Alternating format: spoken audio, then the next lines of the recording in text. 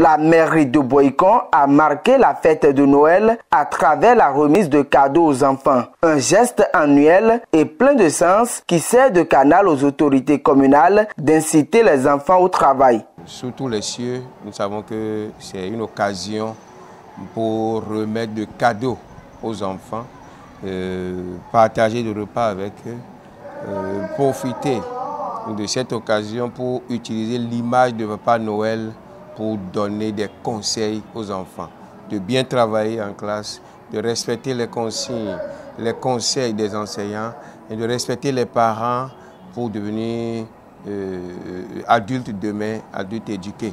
Donc c'est euh, cette occasion-là qui nous a permis de sacrifier à cette, tradition et profiter pour souhaiter bonne et heureuse année également à tous les parents qui ont accompagné les enfants. Ce fut un instant de joie et de bonheur pour les enfants.